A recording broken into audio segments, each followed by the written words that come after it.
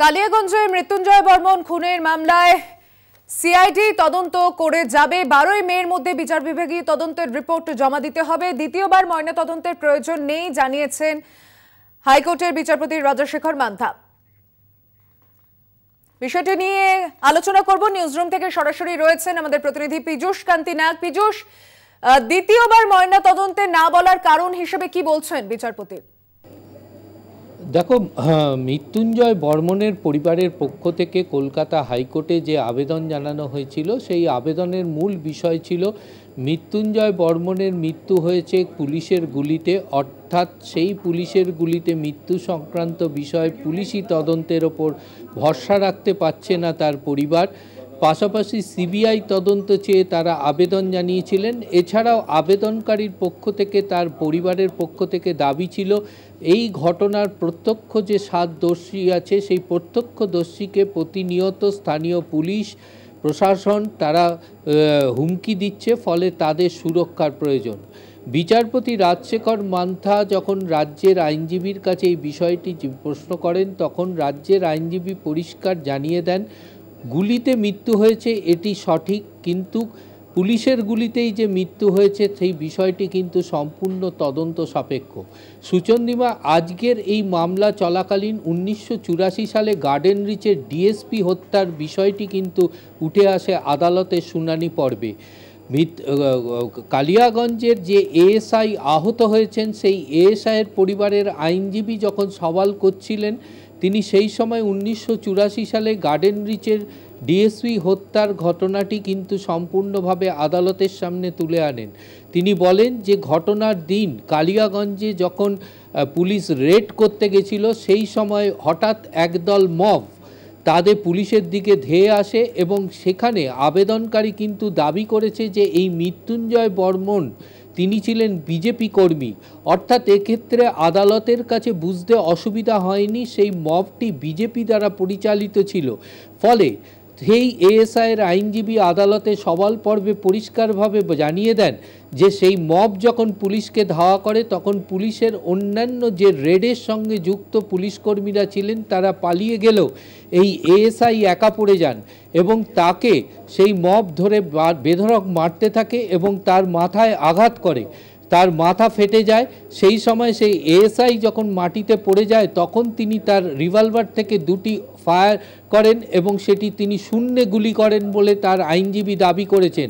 তিনি তার আইনজীবী একথাও বলেছেন, আত্মরক্ষার জন্য সেই এএসআই যখন মাথা ফেটে যায় তখন তিনি সেই লুটিয়ে পড়া অবস্থায় তার আর্মস থেকে তিনি শূন্যে দুটো গুলি করেন। তবে সেই গুলি যে সেই গুলিতেই যে মৃত্যুঞ্জয় বর্মনের মৃত্যু হয়েছে তা তিনি নিশ্চিতভাবে বলতে পারছেন না, কারণ তেই, সেই সময় তিনি অজ্ঞান হয়ে যান।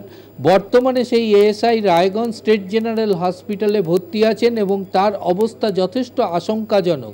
এমত অবস্থায় আদালত মনে করেছে যে গুলিতে মৃত্যু হয়েছে একথা যেমন এএসআইয়ের আইনজীবী আদালতের কাছে স্বীকার করেছেন, রাজ্যে সরকারি আইনজীবীও স্বীকার করেছেন, তবে সেই গুলি যে পুলিশের গুলিতেই মৃত্যু হয়েছে তা কিন্তু এখন তা প্রমাণযোগ্য রয়েছে।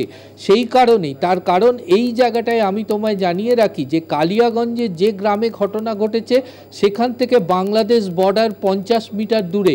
অর্থাৎ সেই গ্রামটি কিন্তু সম্পূর্ণভাবে বিএসএফের নিয়ন্ত্রণাধীন রয়েছে। অর্থাৎ এক্ষেত্রে যখন বিজেপি কর্মীরা যখন সেই মব যখন চলেছে সেইখানে বিএসএফ কি করছিল এই বিষয়টিও কিন্তু পরবর্তীকালে তদন্তে উঠে আসবে।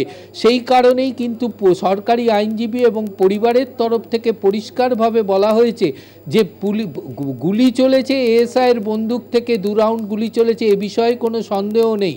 তবে সেই গুলিতেই যে মৃত্যু হয়েছে মৃত্যুঞ্জয় বর্মনের তা কিন্তু তদন্ত সাপেক্ষ। যেহেতু গুলিতে মৃত্যু হয়েছে ময়না তদন্তের রিপোর্টেও তাই এসছে।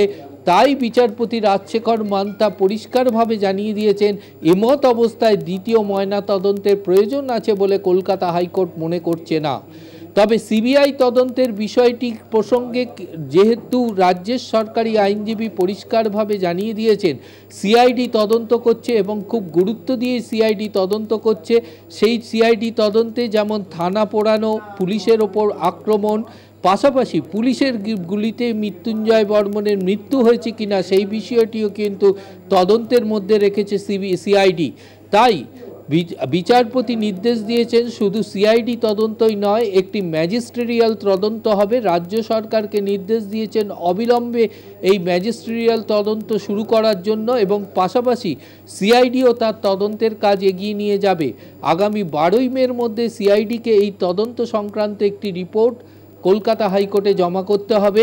অর্থাৎ কলকাতা হাইকোর্টে এখন বিচারাধীন কালিয়াগঞ্জের দুটি মামলা বিচারাধীন অবস্থায় রইল।